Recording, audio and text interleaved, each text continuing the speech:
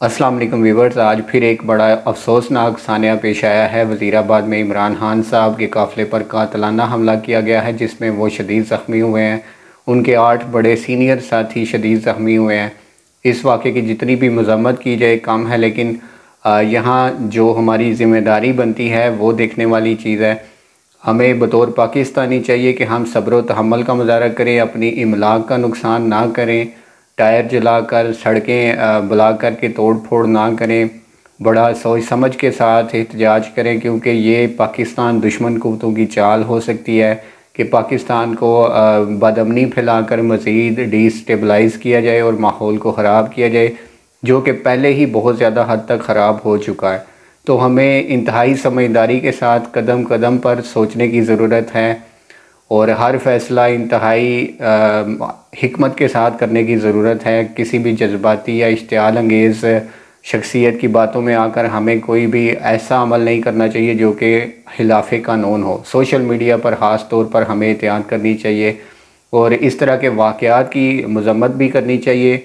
हमारे मुल्क की सियासत ने मुल्क के वजूद को ख़तरे में डाल दिया है। चार पाँच साल पहले एक सानिया मॉडल टाउन हो चुका है जिसमें तकरीबन सौ लोगों को गोलियों से छलनी किया गया था और आज तकरीबन आठ साल गुज़र गए हैं। उसका आ, कुछ भी नहीं बन सका। और इमरान खान साहब की भी गवर्नमेंट आई थी। उन्होंने भी इस पर कोई वर्क नहीं किया था और आज तक देख लें कि उस साने का आ, कोई हाल नहीं निकल सका। आज भी परवेज़ लाई साहब की हुकूमत है पंजाब में लेकिन फिर भी वो केस बंद पड़ा हुआ है। तो जब तक आप ख़ुद सिस्टम में आके, गवर्नमेंट में आके कोई असलाहत नहीं करेंगे, कानून में तब्दीली नहीं करेंगे, और जो पहले केसेस पेंडिंग हैं और वो सियासतदानों के ख़िलाफ़ थे, उन पर आप एक्शन नहीं करेंगे और उसकी जो तफ्तीश है वो कंप्लीट नहीं होने देंगे। जो मुलजमान हैं, उनको आप सस्पेंड नहीं करेंगे और इस तरह से जो इंडिपेंडेंट इंक्वायरी है वो नहीं होने देंगे। तो इस तरह के वाक़ात आपके साथ भी हो सकते हैं। ये हमारे लिए सबक है कि कोई भी बंदा अगर उस पर जुल्म किया जाता है तो हमें उसके साथ खड़ा होना चाहिए। अदरवाइज़ कल को हमारे साथ भी वही हो सकता है, जो किसी आम और कमज़ोर आदमी के साथ होता है।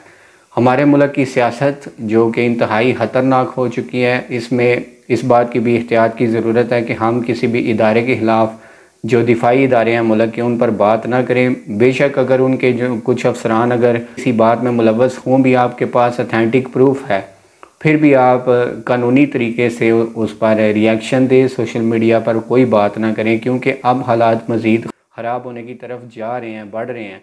तो भरपूर एहतियात की ज़रूरत है। हमारा ये वतन बहुत कुर्बानियों के बाद हमने हासिल किया था। और इसको नुकसान पहुँचाने में ज़्यादा देर नहीं लगेगी। और इसको बचाने में फिर हमें बहुत ज़्यादा कुर्बानियाँ देनी पड़ेगी।